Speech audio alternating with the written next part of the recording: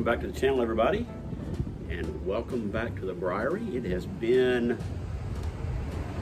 far too long since I have visited the Briary. It's the second Saturday of the month, which means a Central Alabama Pipe Club meetup. Boy, it's been probably five or six months since I've attended one of these, which means it's been five or six months since you've attended one of these. So I'm looking forward to hanging out with some good friends, trying some good tobacco. So let's get inside and uh, have some fellowship.